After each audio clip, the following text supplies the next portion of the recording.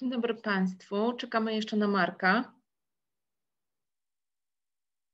Marek. Halo, halo, słychać mnie? Halo, słychać Cię. Jeszcze tylko Dobrze, już, już uruchamiam się z kamerą i już przechodzę, od razu uruchamiam yy, prezentację. Czekaj jeszcze tylko chwilę. E, tytułem wstępu przedstawię Marka Stankiewicza. Marek pewnie e, więcej powie o sobie. Marek był z nami też rok temu. Dziękuję Państwu, że jesteście z nami.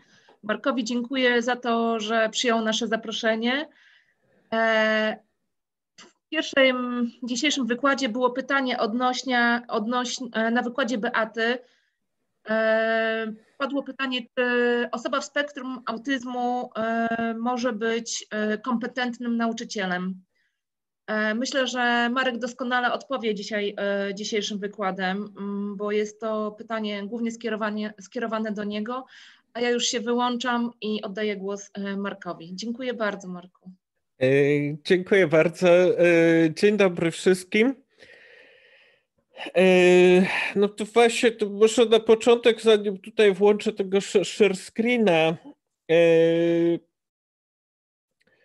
to może troszeczkę o mnie. Ja jestem, jestem dorosłym w spektrum autyzmu. E, jak się okazało po wielu, wielu latach. E, jestem, e, no muszę powiedzieć, że jestem naukowcem. Zdarza mi się pracować ze studentami. Uczę nauczycieli, uczę innych specjalistów. Jestem również specjalistą od spektrum autyzmu. Poza tym, że jestem spektrum, specjalistą od spektrum autyzmu, Jestem również y, specjalistą biologiem, biologiem terenowym i jako biolog terenowy pracowałem wiele, wiele lat. Y, do tego, uprzedzając ewentualne pytania, które się y, pojawiają, no jak widać, komunikuję się na różne sposoby. Potrafię prowadzić samochód, nie potrafię latać samolotem, bo się nigdy nie nauczyłem. E, chyba że ktoś mnie przewiezie. E, również muszę powiedzieć, że potrafię prowadzić samochód terenowy, koparkę, e, inne takie rzeczy. Także i pytanie, które się pojawiło niestety też na wykładzie, również potrafię sam się obsłużyć, wiązać buty, no to już są takie bardzo nieprzyjemne stereotypy. I myślę, że teraz przejdziemy już do prezentacji. E, dzisiaj chciałbym Państwu opowiedzieć e, o tak naprawdę o inności, ale tak troszeczkę z innego punktu widzenia. Z tego powodu, że e, no właśnie ja jestem biologiem. I tak troszeczkę z mniej z punktu widzenia nauk społecznych, e, troszeczkę mniej z punktu widzenia psychologii, ale o tym też będzie. A przede wszystkim troszeczkę chcę Państwu opowiedzieć o inności, tak zwanej w cudzysłowie inności, e, o neuroróżnorodności, o akceptacji e, z punktu widzenia samej właśnie biologii.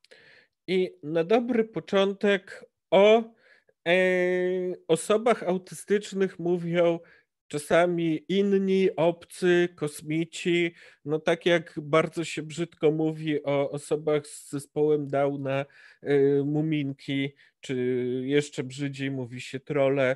No przepraszam bardzo, jeżeli spotykamy osobę w spektrum, e, to czy my jesteśmy w stanie odróżnić taką osobę na pierwszy rzut oka, y, jeżeli się, mamy osoby, które załóżmy siedzą w pubie, przy stole, y, czy my możemy odróżnić taką osobę, czy no, mamy tutaj zdjęcia obcych, czy taka osoba, nie wiem, jest pokryta włosami, ma ogon, rogi, nie wiem, oddycha metanem.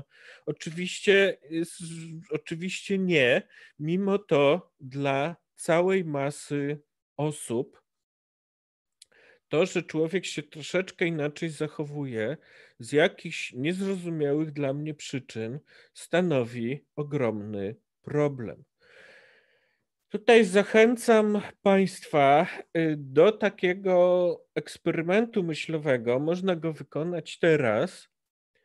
Zastanówmy się, czy osoba, która do nas mówi w innym języku, w języku, który my jesteśmy w stanie się nauczyć, czy y, nie jesteśmy w stanie, jest to język dla nas zupełnie niezrozumiały, czy ta osoba jest człowiekiem, czy jest dla nas mniej człowiekiem. Czy jeżeli na przykład spotykamy e, osobę, jak dobrze pamiętam, w Bułgarii, na nie się kiwa głową w taki sposób, a na tak się kręci głową. Czy taka osoba jest mniej człowiekiem niż e, wszyscy dookoła? Czy na przykład bardzo grzeczny Japończyk, czy bardzo wylewny Włoch, który będzie bardzo głośno mówić, będzie nas, będzie gestykulować, będzie nas pewnie y, klepać po plecach, pewnie będzie chciał nas całować. Y, na przywitanie jest mniej człowiekiem niż taki statystyczny człowiek? W ogóle co to jest ten statystyczny człowiek?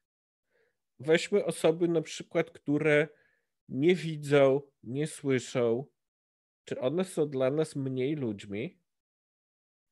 Czy osoba na przykład, o proszę bardzo, mogę pokazać, ja mam długie włosy.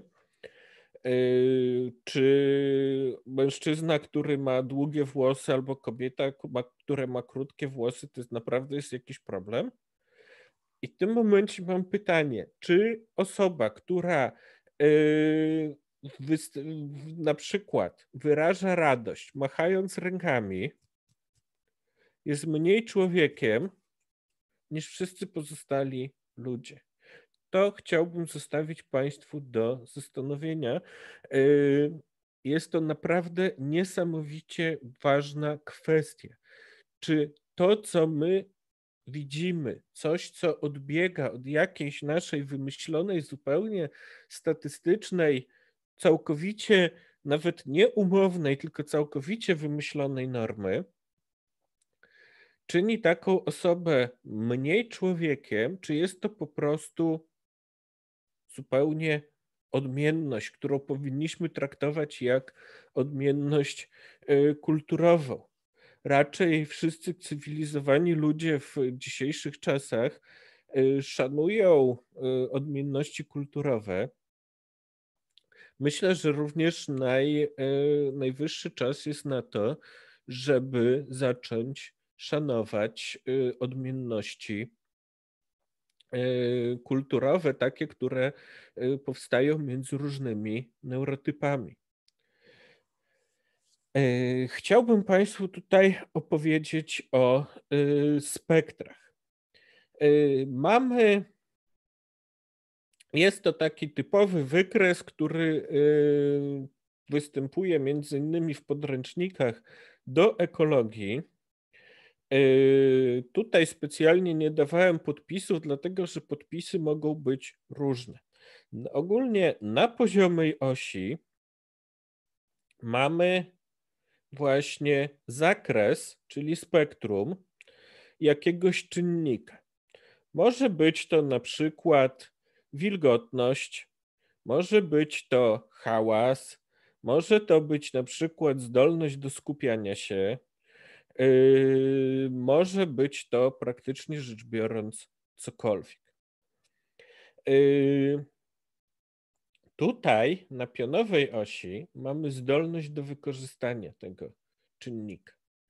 I teraz zwróćmy uwagę, mamy te różne zakresy.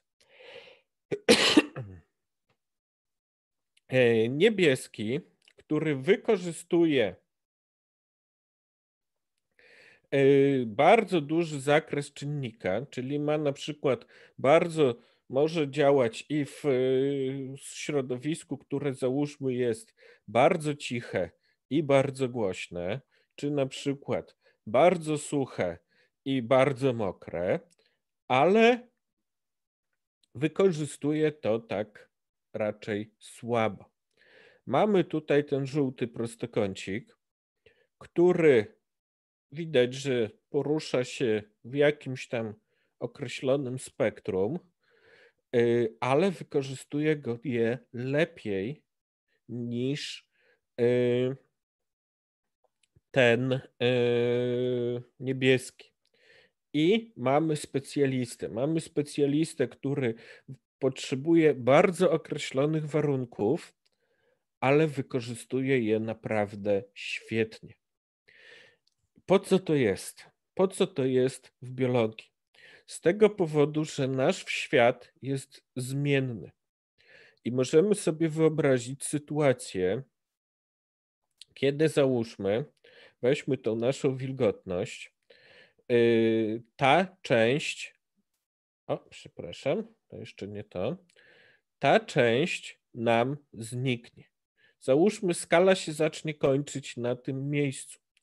Jak możemy zauważyć, zielony sobie poradzi, niebieski sobie poradzi, yy, żółty będzie miał problemy. Może się też tak zdarzyć, że konieczność wykorzystania zasobów, czyli ta oś pozioma, nam się przesunie do góry. Wtedy poradzi sobie zielony, poradzi sobie żółty, a niebieski, mimo że jest taki szeroki w spektrum, będzie sobie radził bardzo, bardzo źle. To jest wiedza, którą mają wszyscy, którzy mieli cokolwiek wspólnego z ekologią populacji. I to jest punkt podstawowy, po co nam w populacji jest różnorodność. Po prostu y, populacja, która nie jest różnorodna, wyobraźmy sobie populację, która całkowicie składa się z takich specjalistów. Z punktu widzenia populacji to jest bardzo, bardzo groźne. Populacja ludzka jest bardzo, bardzo, bardzo zróżnicowana. Już przechodzimy do następnej, e, następnego naszego wykresu, czyli tak zwanego rozkładu typowego. E, I tak jak już powiedziałem, populacja ludzka jest niesamowicie zróżnicowana pod względem preferencji różnego typu, pod, pod względem preferencji sensorycznych, pod względem emocji, yy, pod względem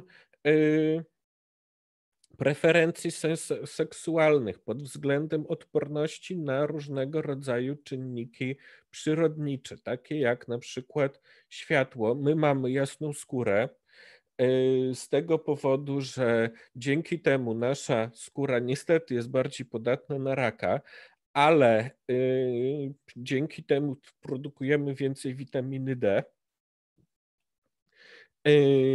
A osoby ciemnoskóre są o wiele bardziej odporne na raka, na poparzenie słoneczne, ale za to w naszym klimacie radzą sobie gorzej z tego powodu, że ich skóra nie produkuje tyle witaminy D.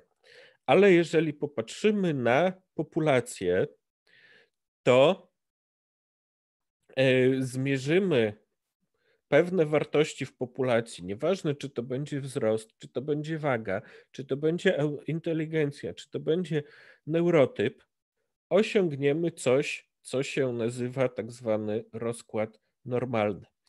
I mam nadzieję, że Państwo widzą kursor. Jeżeli nie, to tutaj te yy, niebieskie to są osoby, które możemy nazwać typowymi. Możemy je nazwać neurotypowymi yy, również, czyli to są osoby, które się mieszczą w średniej. Yy, Im bardziej na boki, tym yy, mamy osoby, które coraz bardziej odbiegają od średniej. Czyli na, mogą odbiegać na plus, mogą odbiegać na minus.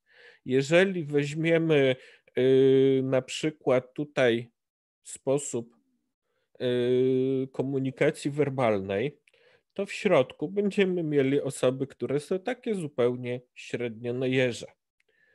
Yy, tutaj będziemy mieli osoby, które jak to młodzież y, mówi plus 100 do charyzmy, potrafią wszystko, każdego przegadać.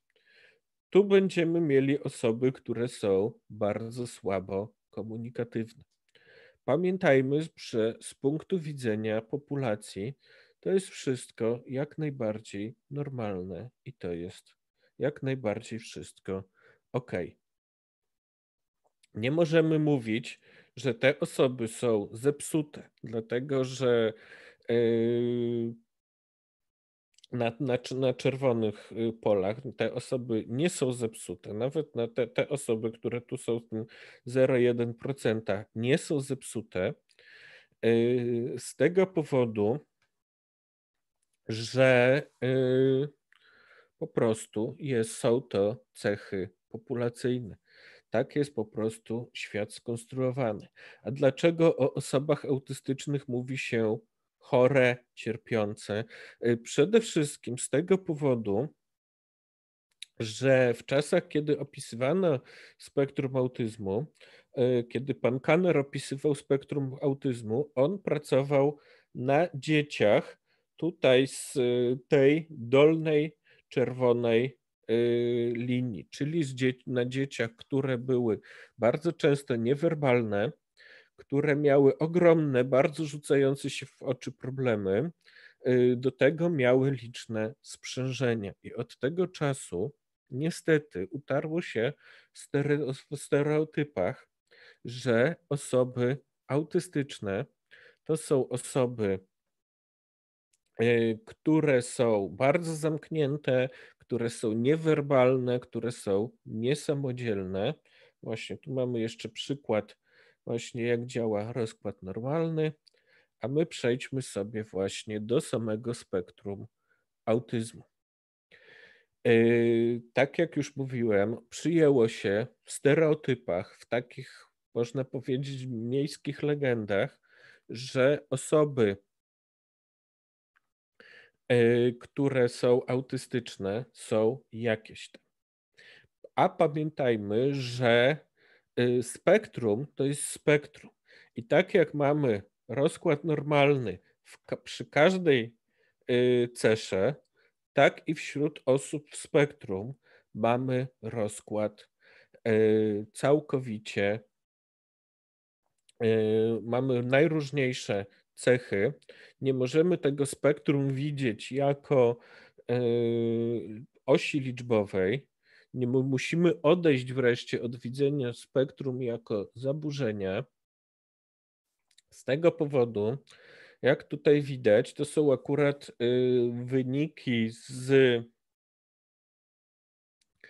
e, testów, z testu AQ, testów mierzących cechy autystyczne.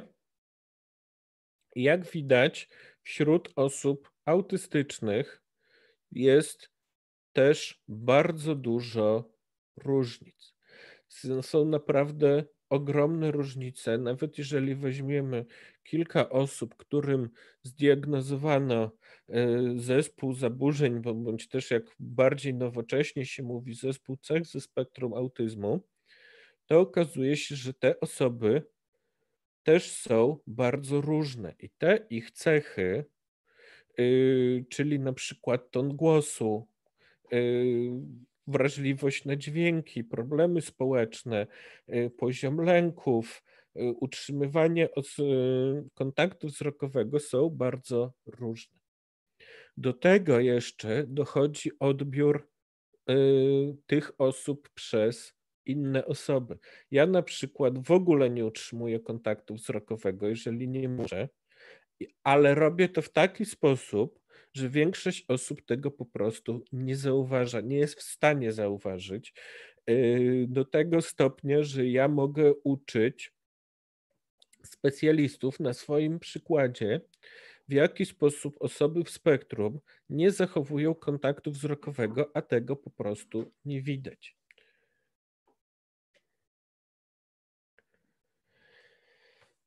Zajmijmy się troszeczkę y, zmysłami, dlatego że to są takie rzeczy bardzo charakterystyczne. Mówi się, że dla osób y, w spektrum i jest w tym sporo prawdy, dlatego że często jest tak, że odbiór wrażeń zmysłowych przez osoby w spektrum odbiega od tej statystycznej normy, czyli cofamy się do rozkładu normalnego, czyli y, osoby w spektrum rzadziej są w tym niebieskim polu, częściej są w żółtym albo czerwonym, po którejś stronie. Czyli mamy nadwrażliwości albo niedowrażliwości. I nadwrażliwości i niedowrażliwości mogą dotyczyć każdego ze zmysłów.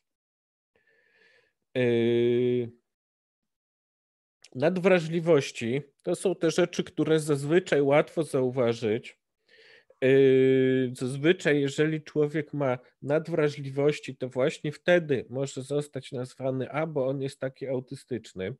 Z tego powodu, że proszę zwrócić uwagę, mamy yy, nadwrażliwość, czyli bodziec, yy, załóżmy słuchowy, powoduje y, dyskomfort. Czyli mamy człowieka, który nosi na przykład słuchawki. Ja akurat mam słuchawki hi-fi, ale zazwyczaj osoby noszą słuchawki y, wygłuszające. Mamy osoby, które na przykład lubią nosić ciemne okulary. Y, mamy osoby, zwłaszcza dzieci, są słynne z tego, które y, potrafią podejść do sąsiadki i powiedzieć, ale pani śmierdzi, co pani dzisiaj ze sobą zrobiła? Z tego powodu, a sąsiadka jest obrażona, bo ona się tylko zlała od stóp do głów perfumami. Y, mamy dotyk, czyli czucie powierzchniowe, czyli słynne nie dotykaj mnie. Mamy smak, jeżeli osoby, y, mamy osoby, które mają nadwrażliwość smakową, to są te osoby, które zazwyczaj unikają ostrych przypraw, nie dosalają, nie dopieprzają.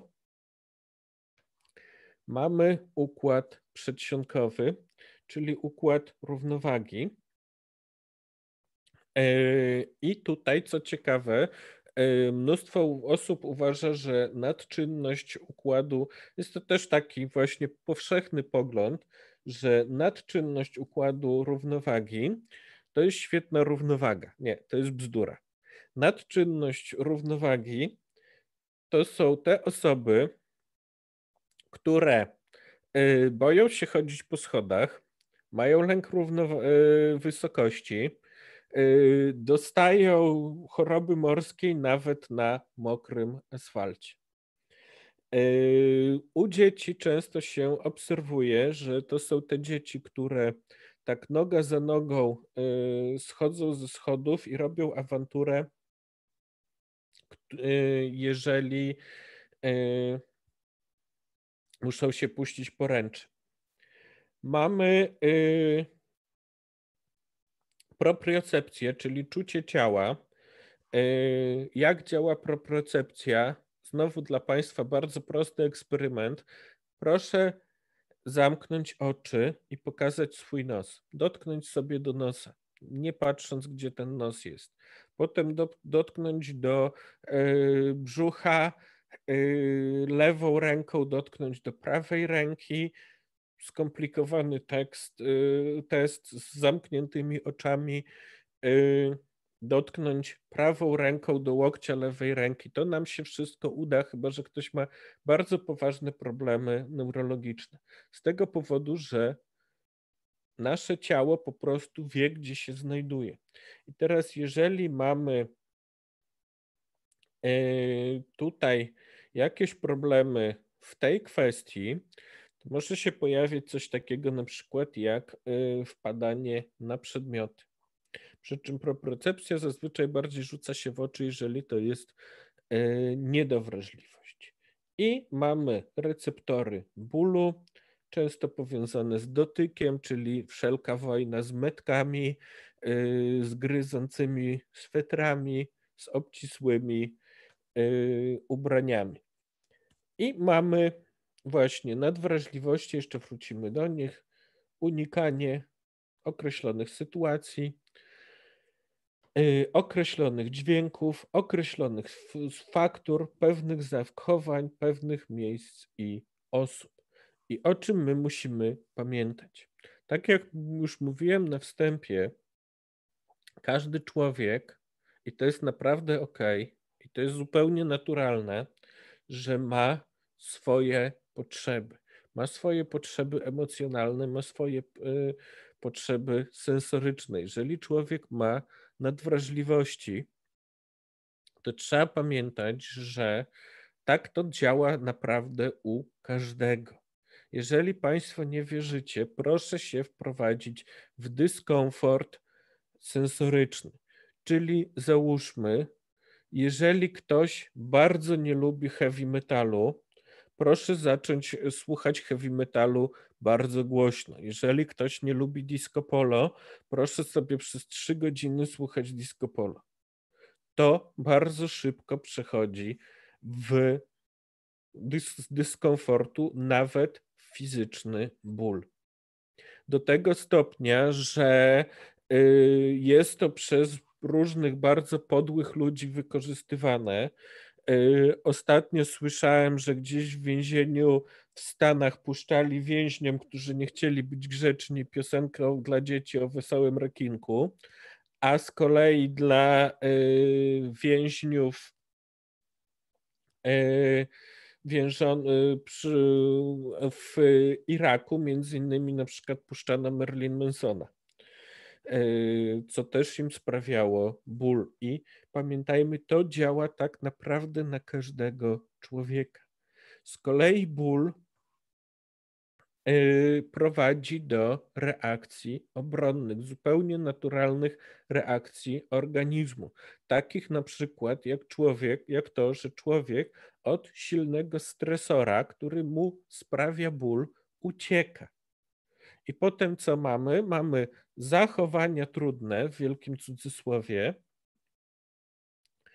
Yy, mamy yy, powiedzenie, że on ucieka, bo on jest taki autystyczny. Nie, proszę Państwa, nie ucieka, bo jest autystyczny. Ucieka z tego powodu, że to jest zupełnie naturalna reakcja organizmu. Tak samo y, unikanie pewnych sytuacji niekomfortowych y, jest to zupełnie naturalna reakcja organizmu. Niestety, jeżeli będziemy wymuszać pewne sprawy, to skończy się tak, że organizm stwierdzi, że jest zagrożony, więc wytworzą nam się zaburzenia lękowe i zaburzenia typu fobii. Yy, mamy następną, tą drugą gałąź spe, yy, spektrum, czyli mamy niedowrażliwości. Tak jak nadwrażliwości jest to nadmierna wrażliwość na bodźce, to niedowrażliwości to jest poszukiwanie bodźca. Y, też mogą dotykać wszystkich zmysłów, i tutaj chcę y, Państwu zwrócić uwagę na parę rzeczy. Y, te wszystkie dzieci, które biegają, skaczą, wspinają się na wszystko, chcą, żeby je zawijać, przyciskać, siadać na nich, jest to im po prostu potrzebne z punktu ich widzenia ich zdrowia, z punktu widzenia ich organizmu.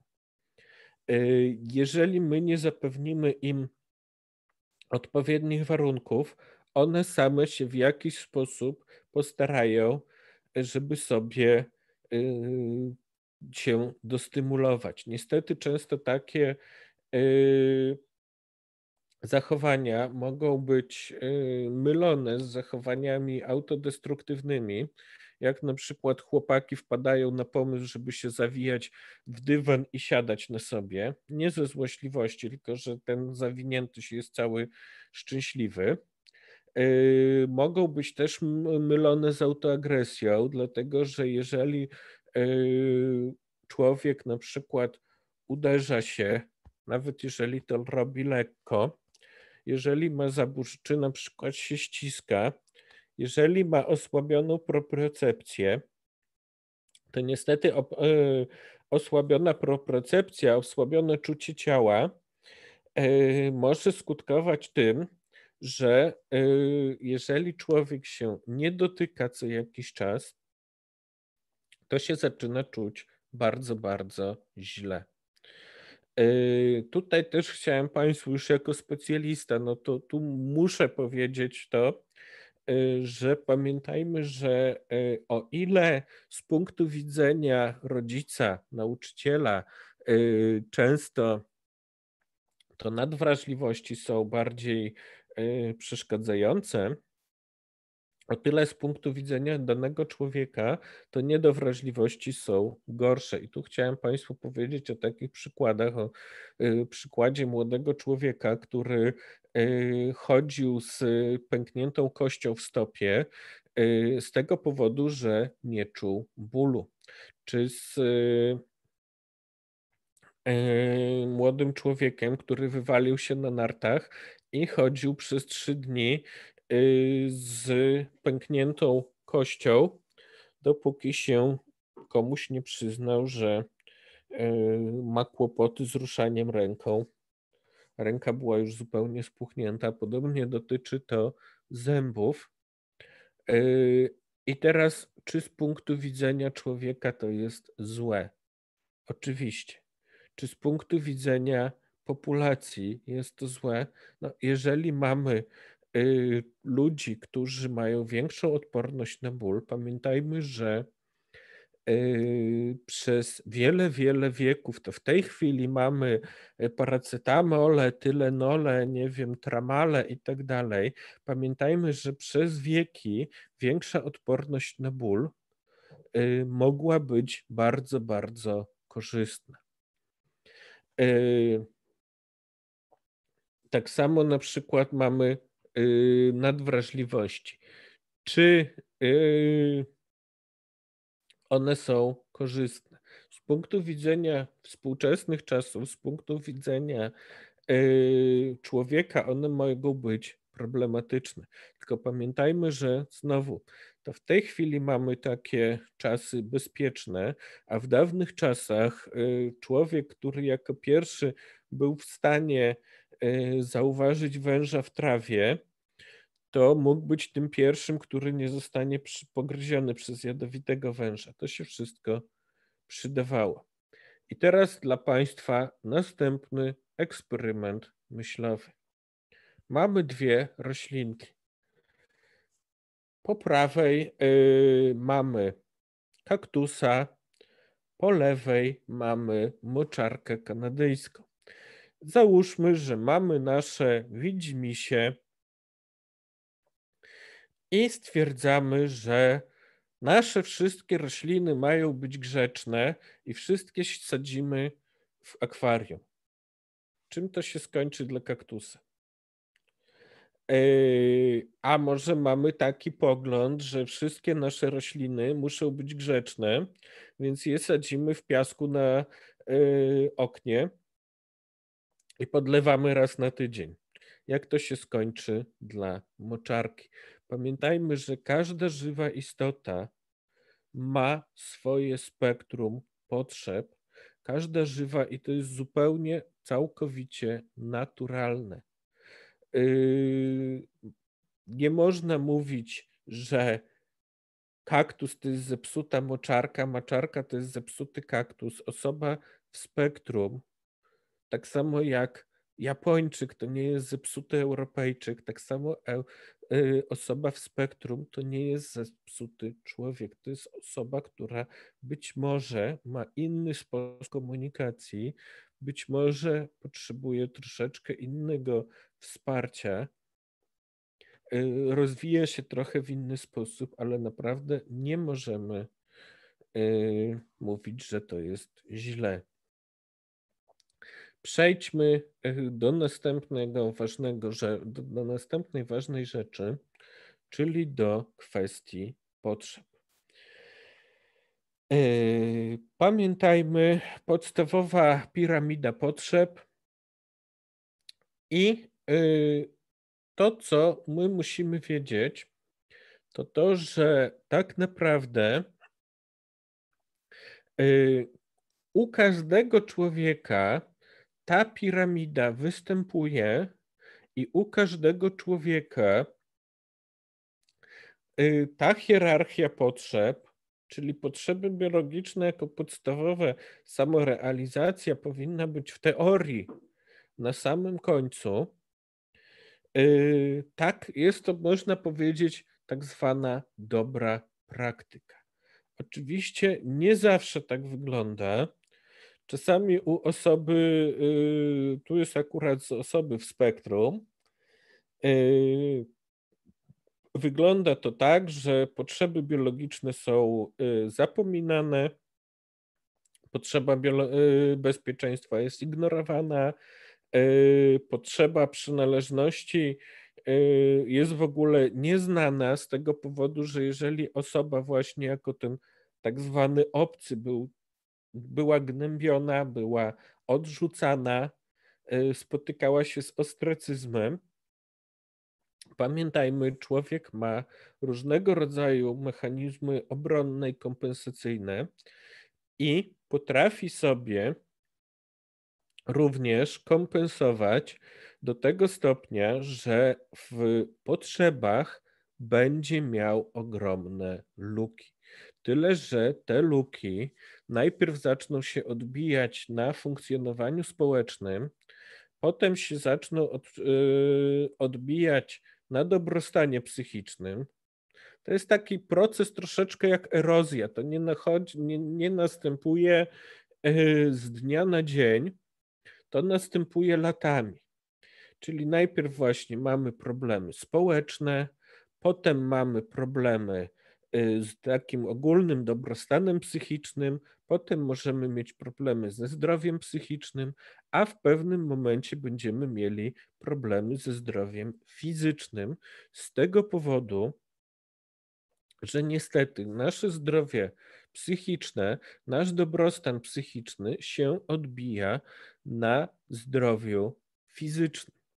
I jest taka grupa chorób, między innymi do nich się zaliczają choroby autoimmunologiczne, yy, które niestety yy, często są właśnie yy, uruchamiane przez lata zaniedbań w kwestii dobrostanu psychicznego. I muszę Państwu powiedzieć, że niestety badania dowodzą, że Osoby w spektrum są bardziej podatne na wystąpienie właśnie chociażby tych chorób autoimmunologicznych, chociażby takich na przykład jak y, reumatoidalne zapalenie stawów, czy na przykład toczeń. Y, I niestety y, nie jest to związane z znaczy niestety, nie jest to związane ze spektrum, nie jest to w żaden sposób genetycznie czy fizjologicznie powiązane ze spektrum, tylko jest powiązane z tym, że jeżeli człowiekowi yy, nie pozwolimy działać w jego optimum, staramy się go dostosować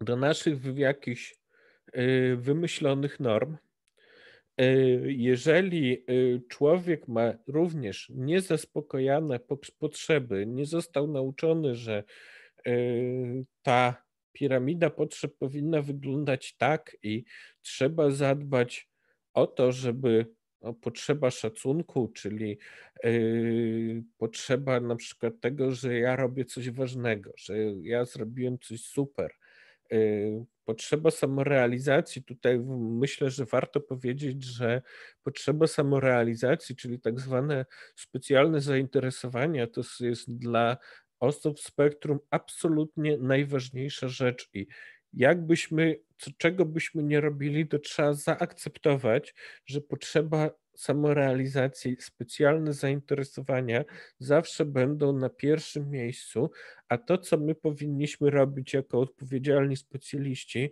jako odpowiedzialni rodzice, to nauczyć młodych ludzi, że bez tej podstawy to się sypnie. To dla nich będzie najważniejsze, ale niech wiedzą, że jeżeli się będą zapominali o spaniu albo po prostu y, ignorowali potrzebę spania, jeżeli będą ignorowali potrzebę zadbania o siebie, y, potrzebę bezpieczeństwa, to, to im się posypie po prostu. Jest to naprawdę bardzo dobry argument, jest to argument, który naprawdę działa.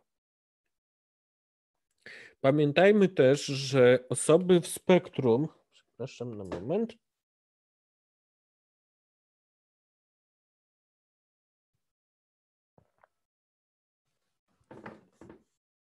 To, że nie mają potrzeby przynależności, miłości i związków, to jest bzdura.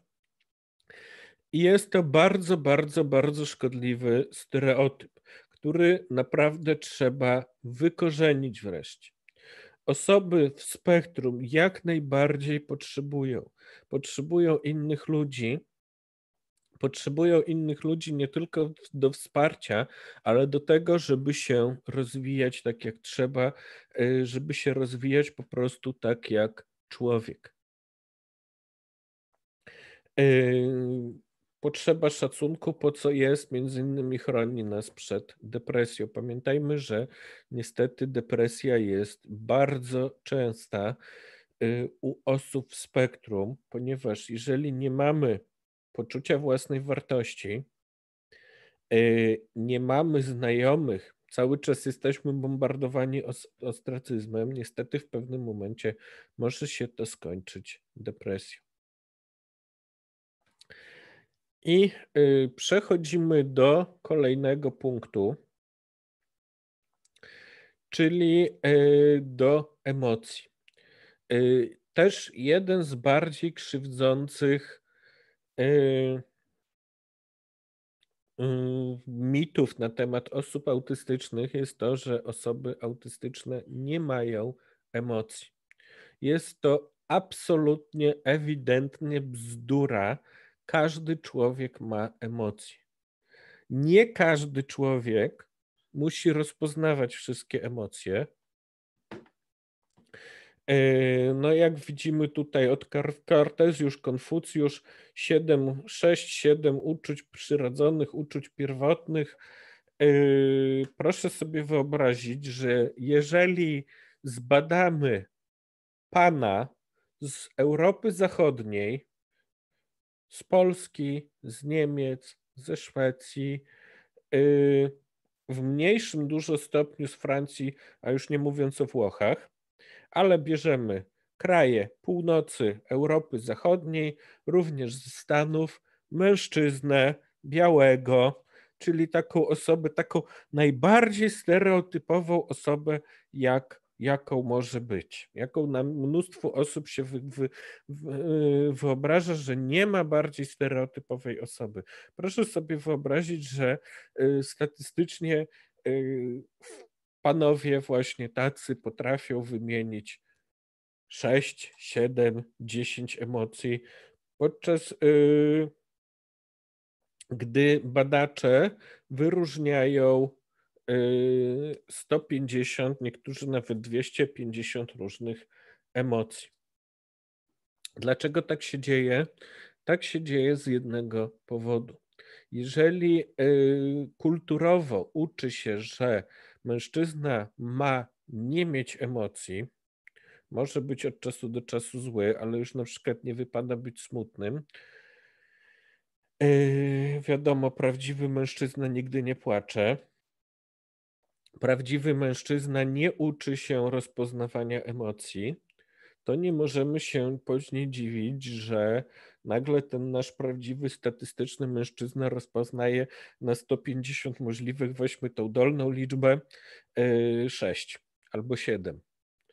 i jego partnerka mówi, ale ty jesteś bezuczuciowy w ogóle. Ja to chciałam takiego chłopa, takiego, co jest uczuciowy, a ty taki bezuczuciowy jesteś. Niestety, proszę Państwa, to jest nasz błąd, to jest błąd kulturowy.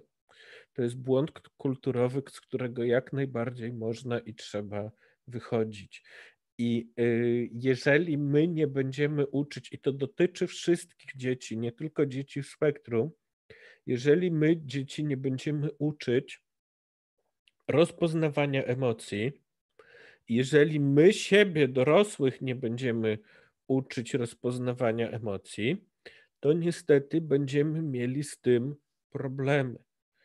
Y, a że u osób ze spektrum zachodzi inna ekspresja emocji, inne kody emocjonalne, z tego powodu, że pamiętajmy, to, co my przedstawiamy swoim ciałem, to jest kod. To jest kod, którego kiedyś nas nauczono. Czyli na przykład, jeżeli nauczono nas, że jakbyśmy byli małymi dziećmi, że wszyscy ludzie, jak się cieszą, machają rękami, to człowiek, który nie macha rękami, jak się cieszy, byłby, wydawałby nam się inny. Nas nauczono, on się robi tak, prawda? Nie wiem, czy dobrze widać na, tym, na tej kamerze. W każdym bądź razie uśmiechamy się. E, pamiętajmy, warto nauczyć, e, jeżeli pracujemy z bardzo małymi dziećmi, takimi dwu, trzyletnimi, pamiętajmy o jednym, że jak babcia się uśmiecha, to się cieszy, ale dziecko też trzeba nauczyć, że jak piesek się uśmiecha, e, to się nie cieszy. Dzieci tego nie wiedzą. To nie jest wiedza wrodzona. To jest coś, czego my się musimy nauczyć. Więc może w tym punkcie, jak już uczymy, że jak babcia się uśmiecha, e, to się cieszy, jak piesek się uśmiecha, to jest zły, e, jak kotek macha ogonem, to jest zły, a jak mały sąsiad macha rączkami, to się cieszy. Możemy tak tego uczyć. Dlaczego tego nie robimy? Ja się staram to robić. Poza emocjami mamy również temperamenty. Temperamenty wprowadził wielki Hipokrates yy, i co ciekawe, temperamentów używamy do dzisiaj. Tych temperamentów yy, wprowadzonych jeszcze od Hipokra przez Hipokratesa po prostu nikt nic mądrzejszego nie wymyślił. Yy, nawet Chińczycy i Japończycy Y, też używają, mimo że oni bardzo lubią mieć wszystkiego po pięć, pięć smaków i tak dalej, to y, jeżeli chodzi o temperamenty, to też mają y, cztery. Mają jeszcze bardzo ciekawy system, który określa, jak człowiek się odnosi do innych ludzi. Coś, co uważam, że przydałoby się na, w naszej kulturze, a czego w naszej kulturze nie ma. No, może, może kiedyś y, miłośnicy anime to wprowadzą. W każdym bądź razie y, mamy naszego Hipokratesa y, i on wprowadził podział na stabilność emocjonalną, czyli mamy wysoką stabilność emocjonalną, niską stabilność emocjonalną i mamy ekspresję wel otwartość. Czyli znowu mamy niską ekspresję i wysoką ekspresję. I w zależności od tego, gdzie człowiek się znajduje, mamy te cztery yy, temperamenty, czyli mamy na przykład yy, osoby, które mają całkiem wysoką stabilność emocjonalną i wysoką ekspresję czyli są ekstrawertyczne, są zazwyczaj wesołe, są stabilne, czyli mamy sangwiników. Mamy flegmatyków, każdy wie chyba flegmatyk, prawda? Wysoka stabilność emocjonalna i często człowiek, który uważa, że uważa się, że taki to ma na wszystko wywalone, dlatego że zanim zareaguje, no to naprawdę może nadejść kolejna epoka lodowcowa. Mamy choleryków, mamy tego naszego tak zwanego stereotypowego Włocha, który jest ekstrawertykiem, łatwo się wkurza na wszystko, jest bardzo emocjonalny. I mamy melancholika, który, po którym nie widać, bo wszystko bierze do siebie, ale e, wszystko e, jest w środku, to mu się tam miele i rozpacza i w ogóle odstawia kompletne cierpienia młodego Wertera. Yy, I jeden z mitów na temat osób w spektrum autyzmu mówi, że to są albo flegmatycy, albo melancholicy, a to jest bzdura. Dlatego, że jeżeli weźmiemy w spektrum, tak jak jeżeli weźmiemy wszystkich ludzi, to mamy tą całość. Yy, mamy w spektrum flegmatyków, mamy w spektrum sangwiników, mamy w spektrum choleryków, mamy melancholików, a jeszcze pamiętajmy, że na spektrum nakłada się, yy, na spektrum autyzmu bardzo często się nakłada kolejna yy,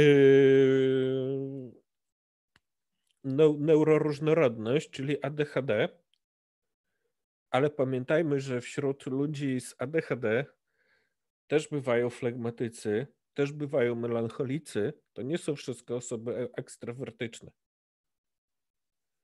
Wszystko, co mamy w populacjach, to jest swego rodzaju właśnie spektrum i rozkład normalny.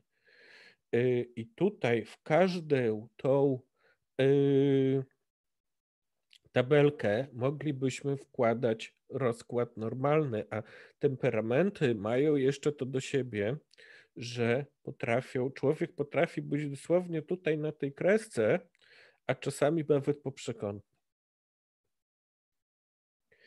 I teraz właśnie po co nam ta różnorodność? No, troszeczkę już powiedziałem, ale myślę, że yy, no właśnie, po co nam tutaj ten obraz jaskiniowy? E, jest taka bardzo dobra książka do przeczytania, której chciałbym Państwa zachęcić. Nazywa się Prehistory of Autism. E, badacze postawili taką hipotezę, że neuroróżnorodność jest nam potrzebna e, z punktu widzenia po prostu gatunku, gatunku naszego gatunku ludzkiego. Jednym z form badań, właśnie stąd ten obrazek, y, było rozpoznawanie y, malarstwa jaskiniowego. No tutaj raczej nikt nie miałby problemów z rozpoznaniem większości zwierzątek, ale muszę Państwu powiedzieć, ze względu na to, że ja tam w tych badaniach brałem udział jako wolontariusz, jako jeden z, chom z chomiczków laboratoryjnych, to zaczynało się od takich obrazków yy, z National Geographic typu, nie wiem, to jest krówka, to jest słoń, prawda, to jest żyrafa, to jest pies, potem przechodziło to do takich rysunków bardziej współczesnych, po takie rysunki jak tutaj, a kończąc na takich po prostu skrobankach na kości, gdzie też jak się dobrze było wpatrzeć, to można było rozpoznać zwierzęta. I y, w badaniach chodziło o to, żeby sprawdzić, czy percepcja y, właśnie tej sztuki pierwotnej jest inna u osób ze zdiagnozowanym spektrum autyzmu, jeszcze bardzo ważna sprawa. Pamiętajmy, że osoby, które są zdiagnozowane w spektrum autyzmu, to nie są wszystkie osoby autystyczne. Osób autystycznych, jak podają badania, jest prawdopodobnie wiele, wiele więcej. Osoby y, autystyczne, które są zdiagnozowane, to są te osoby, które miały y, na tyle problemy ze sprzężeniami lub na tyle problemy w życiu, że z jakichś przyczyn trafiły do lekarza, który je zdiagnozował. A można mieć, być w spektrum przez całe życie i po prostu najnormalnym w świecie tego nie wiedzieć. Właśnie. I wracamy do tych badań. Okazało się, że osoby w spektrum o wiele lepiej rozpoznają y, tą sztukę jaskiniową niż osoby tak zwane neurotypowe.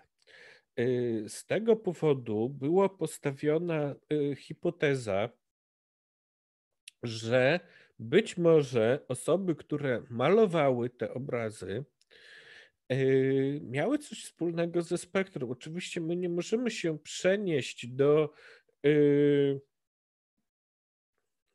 czasów jaskiniowych i te, tych osób przebadać. No badacze bardzo by to chcieli zrobić, ale no tego nie możemy zrobić. Możemy postawić tylko hipotezy, ale pamiętajmy, że nie tylko dotyczy to sztuki jaskiniowej. Osoby w spektrum ze względu na swoje na to, na specjalne zainteresowania, na poziom skupienia, na poziom zasobów, jakie y, potrafią poświęcić specjalnym zainteresowaniom. Bardzo często to są naukowcy, bardzo często to są y, inżynierowie, artyści. I teraz cofnijmy się właśnie do takich czasów, tak myślowo cofnijmy się do takich czasów. Dla nas takie rzeczy jak sznurek, czy na przykład klej, musiał. Yy, to są rzeczy zupełnie oczywiste. Ile lat musiał siedzieć yy, jakiś gość nad tym, żeby wymyślić lepszy sznurek? Czy na przykład wymyślić, jak przykleić kamień do patyka? żeby się trzymało. Kolejna sprawa, tu już przejdziemy w inny neurotyp. E, część badaczy uważa, że za naszą, naszą możliwość myślenia abstrakcyjnego ceną jest między innymi schizofrenia. Yy, bardzo możliwe właśnie, że yy, osoby, które doświadczały wizji, yy, które później może zostawiały jakimiś, nie wiem, szamanami świętymi i tak dalej, to były osoby schizofreniczne. To mogły być również osoby w spektrum autyzmu, z tego powodu, że z kolei osobom w spektrum autyzmu bardzo często łatwo Y, wpaść w trans i wtedy percepcja jest na tyle zmieniona, że można różne y, ciekawe rzeczy wymyślić. Także pamiętajmy, do czego bardzo Państwa zachęcam. Pamiętajmy, że różnorodność to nie jest problem, to nie jest choroba, to, że ktoś się urodził Chińczykiem, to nie jest choroba. To, że ktoś się urodził biały, a nie czarny, to nie jest choroba. To jest konieczność z punktu widzenia populacji ludzkiej. Yy, a problem, problemem mogą być sprzężenia. To jest, to jest problem i takie osoby wymagają wsparcia. Yy, pamiętajmy, że yy, znowu Y, że każda osoba tak naprawdę, chociażby się nie wiem jak zapierała, wymaga wsparcia innych osób, ale niektóre osoby wymagają tego wsparcia więcej. Także różnorodność to nie jest problem. Problem pojawia się, jeżeli człowieka nie wspieraliśmy odpowiednio w rozwoju i on się nie rozwinął tak jak trzeba. Yy, to, co ja obserwuję, i to nie obserwuję, yy, muszę Państwu powiedzieć, że bardziej obserwuję u dzieci tak zwanych neurotypowych, to jest właśnie brak odpowiednich zdolności.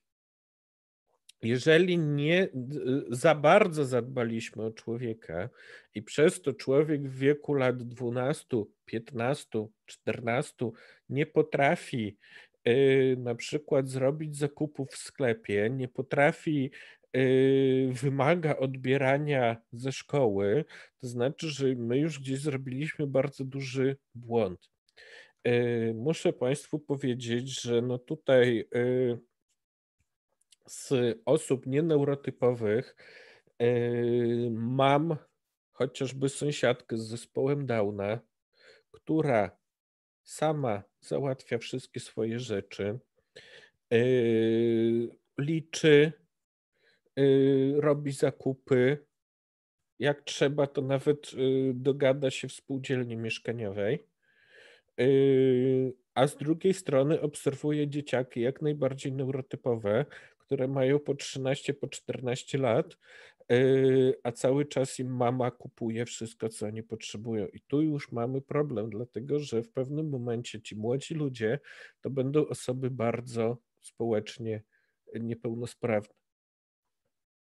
Inny problem yy, jest taki, że mamy widzimisię jakieś yy, i przez właśnie brak empatii, przez brak tolerancji nie zwracamy uwagi na potrzeby, na możliwości drugiego człowieka, staramy się go z jego niszy ekologicznej wyrwać i dopasować do naszego widzimisię. Czyli mamy tutaj y, metody typu nie można machać rączkami nie można mieć grzeczne rączki. Jak to powiedziała na jednym szkoleniu yy, pani, która dzięki Bogu nie została przez naszą wicedyrektorkę uszkodzona fizycznie, że w leczeniu autyzmu najważniejsze są grzeczne rączki i kontakt wzrokowy, choćby wymuszony. Nie, proszę Państwa, to nie jest leczenie, to jest okrucieństwo.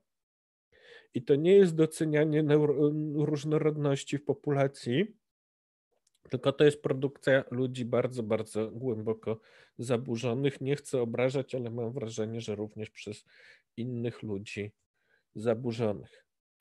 I to, co my, każdy człowiek potrzebuje, to już będę kończyć, nie będę Państwa dłużej męczyć. Każdy człowiek potrzebuje par, paru rzeczy w swoim życiu, między innymi rozpoznawania swoich emocji, umiejętności wytłumaczenia innym ludziom, co ja czuję, Czyli to, że jak ja chodzę z pokoju do pokoju, to prawdopodobnie jestem podenerwowany, a jeżeli na przykład chodzę y, z pokoju do pokoju, ale na palcach, to znaczy, że nie jestem podenerwowany, tylko jestem pozytywnie podjarany. Y, że na przykład jak mój uczeń macha rękami, to on się cieszy. Ale na przykład jeżeli robi tak, to się boi. To są wszystko kody emocjonalne. I one wcale nie są gorsze od tego, że człowiek się uśmiecha, czy robi jakieś tam dziwne twarze. Tak samo niesamowicie ważnym y, jest samodzielność na takim poziomie, na jakim człowiek jest w stanie tą samodzielność mieć, a najlepiej na troszeczkę większym. Również zdolność poszukiwania pomocy, poczucie własnej wartości, samoświadomość, samoświadomość, czyli świadomość tego, czego ja potrzebuję, jakie są te moje optima ekologiczne, ale samoświadomość też pomaga zrozumieć innych ludzi. No i ja Państwu dziękuję za uwagę. Nie wiem, jak wejść do pytań. Może się jakoś postaram. Marku, daj znać, czy Ci pomóc. E, już, już, już mi się udało. Yy, widzę, że mamy pytania. Tak. Yy, jaki ja trik pod, yy, stosuję, że jest to tak zwane patrzenie przez osobę, czyli nie skupiam wzroku na twarzy tej osoby, dlatego że mnóstwo osób autystycznych to są osoby ciekawe z natury i po prostu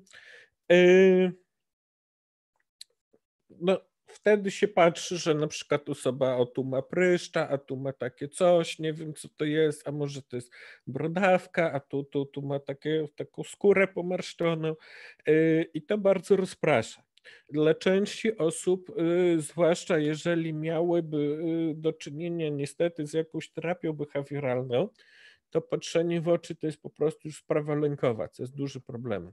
Więc mówię, patrzenie przez człowieka na na coś, a takim patentem naprawdę, który jest super, na którym mnóstwo ludzi się łapie, to jest tak zwany wzrok starszego sierżanta.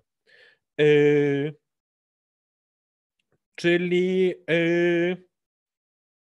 patrzenie człowiekowi niby na twarz, ale tak naprawdę z, z 2 centymetry, czyli cal na przykład za ucho na coś.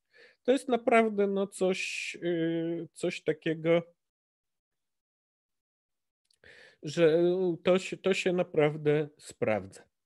I ludziom naprawdę ciężko zauważyć, że nie patrzy się w oczy, tylko patrzy się na coś innego. E, temat e, specjalnych zainteresowań. Temat specjalnych zainteresowań to jest w zasadzie temat na e, dwie godziny albo na pięciogodzinne warsztaty. Myśmy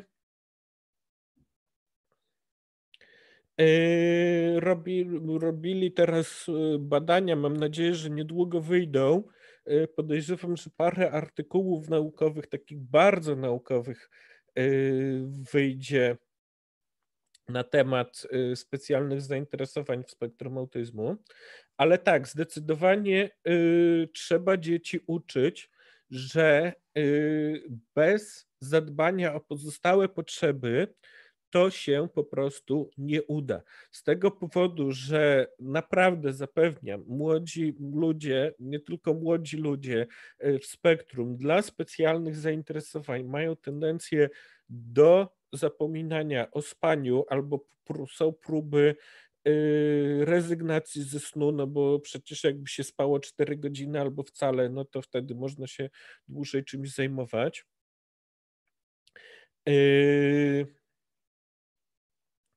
można, y, jeżeli trzeba nauczyć człowieka, że potrzebuje innych ludzi dla swojego zdrowia psychicznego, dla swojej sieci wsparcia, jest to niesamowicie ważne. Y, budować y, poczucie własnej wartości i te, te tak zwane mo, mo, na mocnej podstawie, mocna podstawa, czyli poczucie własnej wartości wynikające ze, ze środka ze świadomości kompetencji, a nie z pochwał zewnętrznych. E, trzeba zadbać o zdrowie, jest to niesamowicie ważne.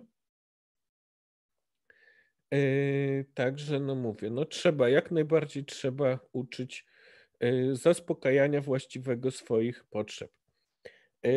Przechodzę do następnego pytania. Tak, można, jeżeli wiemy, że dana czynność szkodzi, możemy się starać y, ją zmieniać. Y, jeżeli, y, jeżeli wiemy, że, że dane zachowanie jest szkodliwe, najlepszy sposób, jaki ja znam, to jest starać się odkryć, bardzo możliwie dokładnie, y, jaką potrzebę y, zaspokaja dane zachowanie i dać coś, co tą potrzebę zaspokaja. Y, czyli na przykład, no, właśnie skąd się bierze drapanie. Czy to jest nadwrażliwość, czy to jest niedowrażliwość? Marku, y... ja mam tylko, przepraszam, że ci się wtrącę, tak? pytanie, żebyś py e, czytał pytania, prośbę mam, żebyś czytał pytania, Aha. bo e, nie Dobrze. wszyscy widzą te pytania. Dobrze. Dziękuję. Przepraszam, że ci przerwałam. E, a to już bo, bo, bo chodzi, chodzi o to, że rozumiem, że e, dziecko w spektrum ma swoje powody i sposoby, żeby rozładować wewnętrzne napięcie. Co można zrobić, jeśli dziecko bardzo często drapie się po pośladkach, udach do tego stopnia, że w niektórych okresach ma to mówię, po prostu zobaczyć, zastanowić się, co można, e, w jaki inny sposób, lepszy sposób można za, zaspokoić tą e, potrzebę. Może na przykład masaże, czy nacieranie, nie wiem, jakimś, y, czy szorowanie y, gąbką. To może, może pomóc. Dlaczego tak trudno rozmawiać z wnukiem y, w spektrum o emocjach? Nie lubi tego tematu, unikać, y, nawet jeśli to radość, coś przyjemnego. To znaczy, powiem tak, y, niestety z mnóstwem osób ciężko rozmawiać o, tem, o emocjach.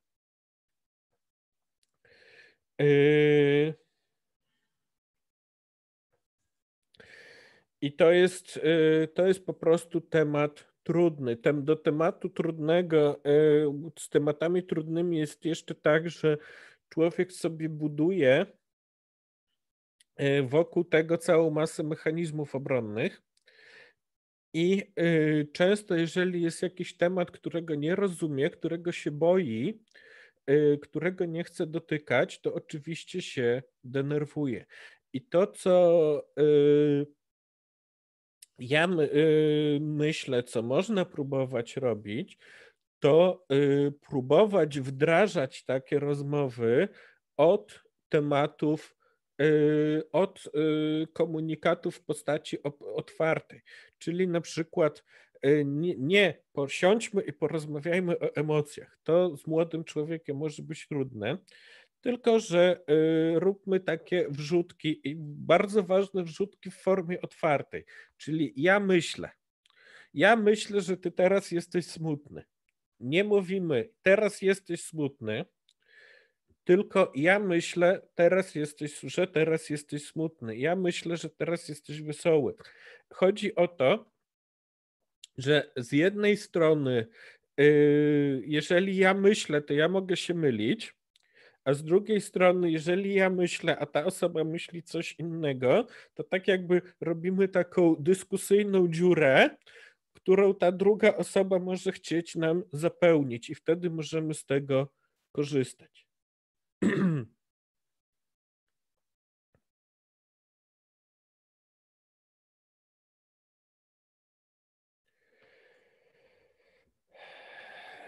do kogo można się zwrócić z pytaniem, gdzie jest granica między zachowaniem dziecka, które należy szanować, a które e, wskazuje na coś niepokojącego? Syn introwertyczny, nie lubiący dużych tłumów, obecnie od lockdowna jest całkowicie odseparowany od rówieśników, sam odmawia kontaktów z nimi. Mam wrażenie, że to przekroczyło granice, które należy uszanować i że syn potrzebuje pomocy.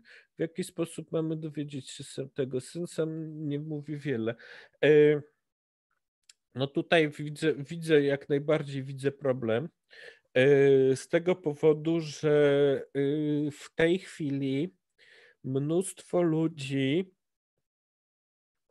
e, się izoluje, mnóstwo ludzi wpada w bakteriofobię, w wirusofobię, żeby nie powiedzieć po prostu w ludziofobię, dlatego że mnóstwo ludzi po prostu zaczyna się e, bać innych ludzi, zaczyna się bać po prostu kontaktu. Do tego, co występuje u introwertyków, jeżeli introwertyka zamknąć na długo, to niestety pojawia się ros, rosnąca chęć do, yy, do yy, pozostania w zamknięciu.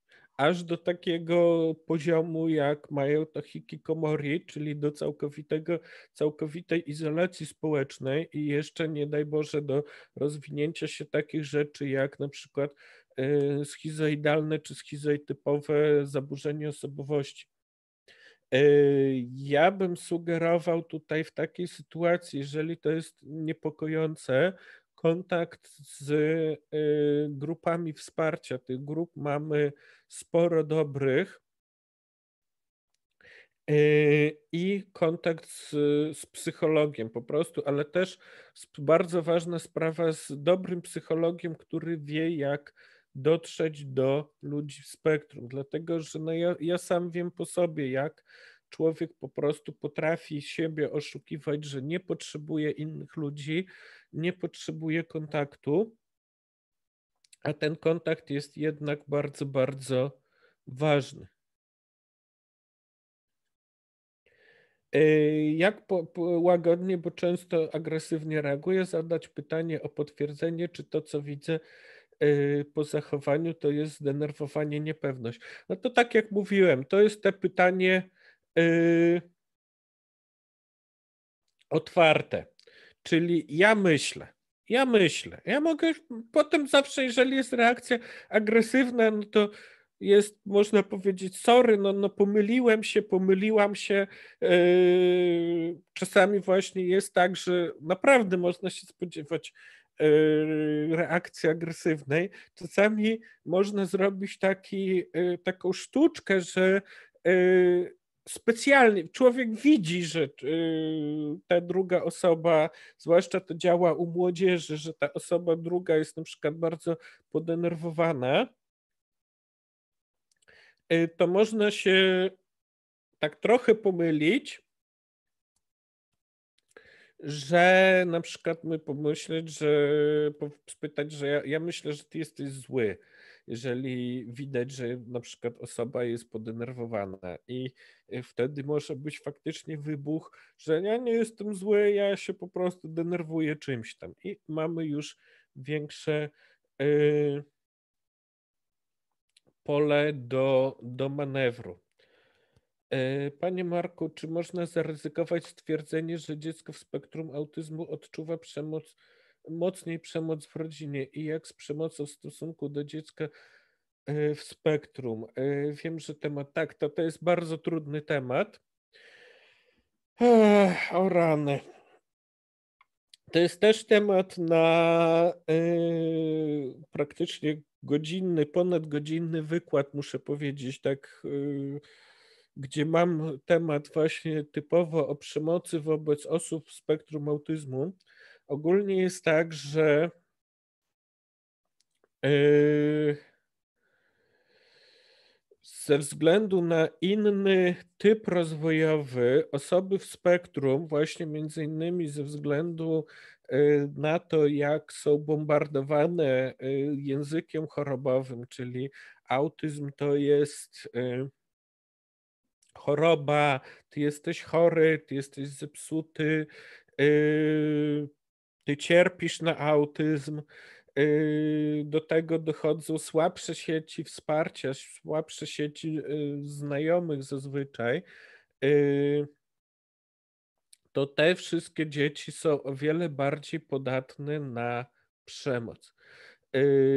Bardzo, o wiele częściej są ofiarami przemocy. No, tutaj, jeżeli weźmiemy badania europejskie, z takich krajów jak Anglia czy Francja czy Polska, to okazuje się, że od 80 do gdzieś 97% y, osób w spektrum padało ofiarami przemocy rówieśniczej. Y, jeżeli mamy do tego jakieś problemy e, komunikacyjne, nadwrażliwości, y, do tego osoby w spektrum ze względu na bardziej reaktywny układ nerwowy, na te niższe progi pobudzenia, yy, mniejsze, mniejsze też poziomy hamowania, yy, bardzo często reagują bardzo silnie, więc no tutaj niestety mo można postawić taką hipotezę, że tak, że przemoc w rodzinie takie osoby odczuwają bardziej. Przy czym yy, no tutaj unikałbym y, wartościowania z tego powodu, że przemoc w rodzinie to jest straszna sprawa, bardzo źle wpływająca na rozwój każdego dziecka, nie tylko w spektrum, ale po prostu y, każdego. Ale mówię, no tutaj temat przemocy to jest y, strasznie, potwornie szeroki temat, gdzie ja się przyznaję, ja Y, bardzo porusz, często poruszam y, kwestie na przykład przemocy terapeutycznej, czyli czy tak zwanej przemocy y, w wielkim, ogromnym czerwonym cudzysłowie dla dobra, dlatego że część niestety przemocy, takiej ewidentnej przemocy, to nie jest taka przemoc otwarta, tylko to jest przemoc właśnie, to wszystko jest dla Twojego dobra, a Y, muszę powiedzieć, że to jest przemoc y, jeszcze bardziej dewastująca niż przemoc stosowana tylko z tego powodu, że ktoś jest no, złym czy zaburzonym w jakiś sposób człowiekiem.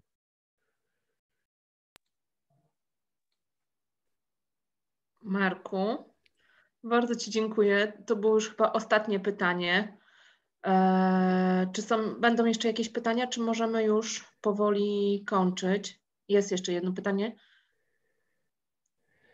Eee, to znaczy tak, eee, czy diagnoza w pańskim przypadku była dla pana całkowitym zaskoczeniem, co doprowadziło do podjęcia decyzji o zgłoszeniu się na diagnozę? Czy coś istotnie zmieniło się w pańskim życiu?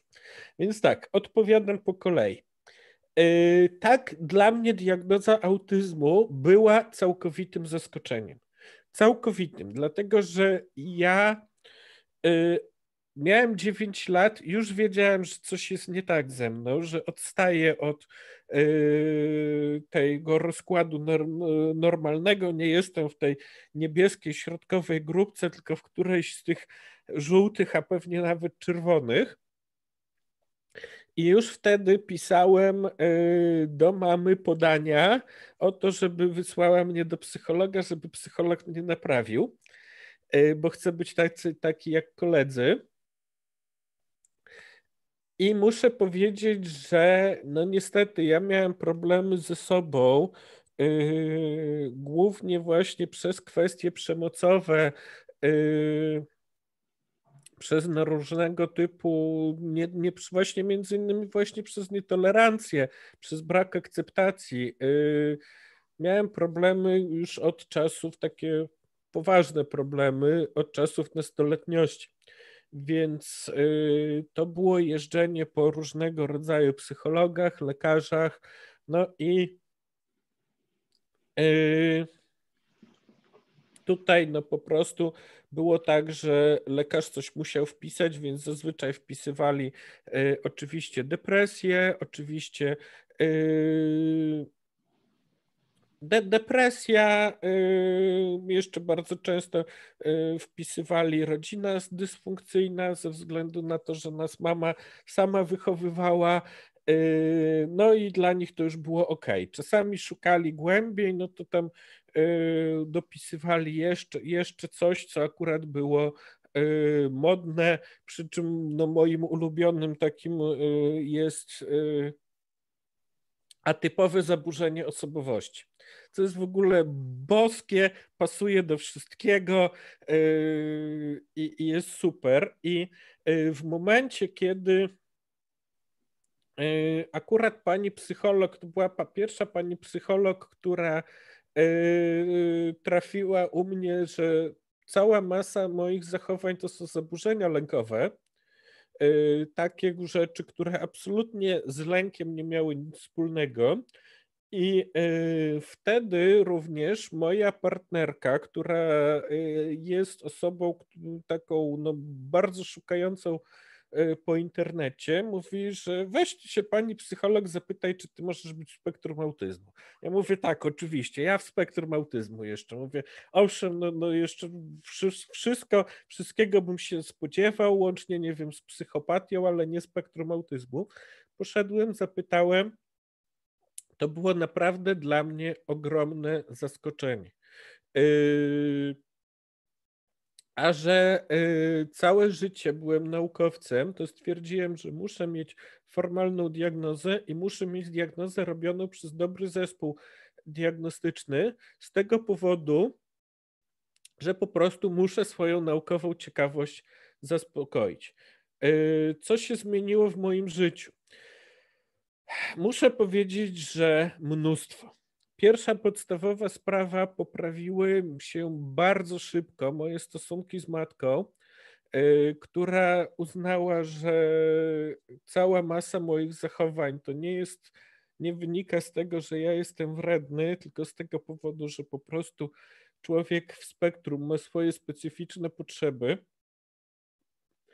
Y, kolejna sprawa, dzięki temu, że dowiedziałem się, jak, że jestem w spektrum, zacząłem się y, uczyć o spektrum. To stało się moim kolejnym specjalnym zainteresowaniem.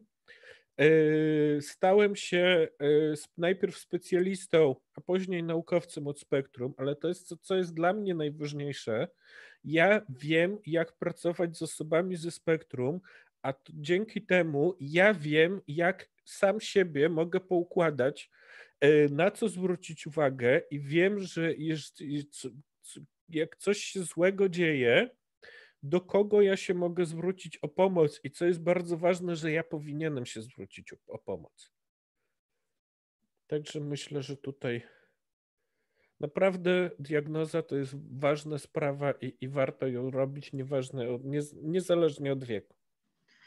Dziękuję Ci Marku serdecznie. To było już ostatnie spotkanie. Dziękuję za Twój przekaz, za Twój wykład. E, podsumowanie pewnie wszystkich wykładów będzie później, ale to, co wybrzmiało na tym wykładzie, to na pewno to, że człowiek spektrum autyzmu nie jest zepsuty.